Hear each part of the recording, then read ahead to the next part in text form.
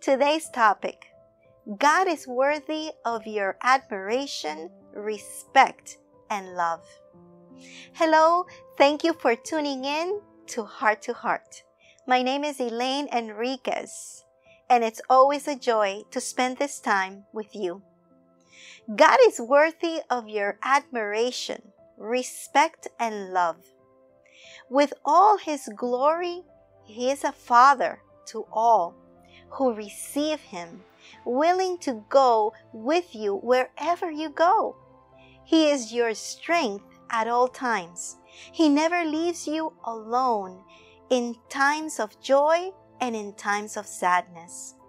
His hand of power and His embrace of love will be present to give you security and sustainability.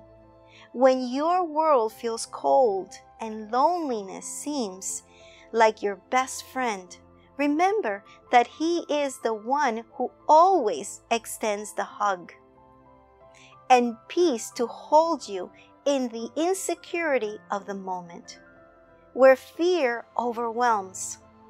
Acknowledge Him by putting Him in first place in your life and in your heart. Dedicate time to knowing the Word, and you will feel the fullness of the Holy Spirit.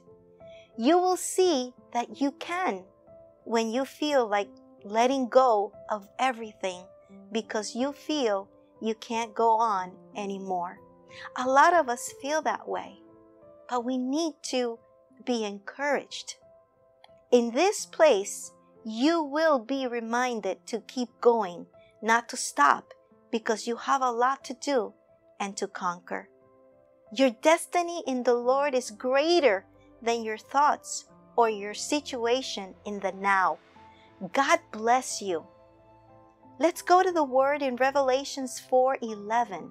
You are worthy our Lord and God, to receive glory and honor and power.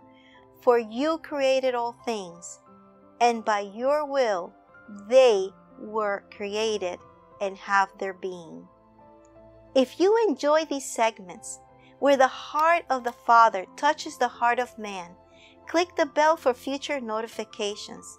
Please subscribe to our OVM Radio YouTube channel for more of our programming.